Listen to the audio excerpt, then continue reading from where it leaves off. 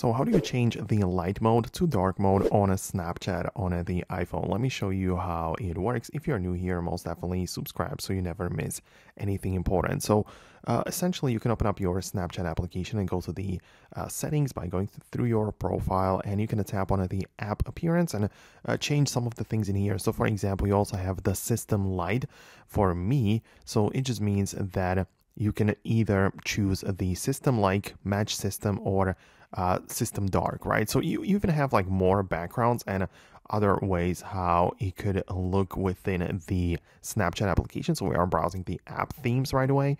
But essentially, if you choose it to be the system dark, it will always be dark, right? When you choose the system light, it will always be light mode. But when you choose the first option, which is to match the system, it just means that it will adopt the settings from your iPhone, right? So whenever you go to the control center on the device and hold down on the brightness, you'll be able to just change the light mode and the dark mode right there, but generally for a whole device.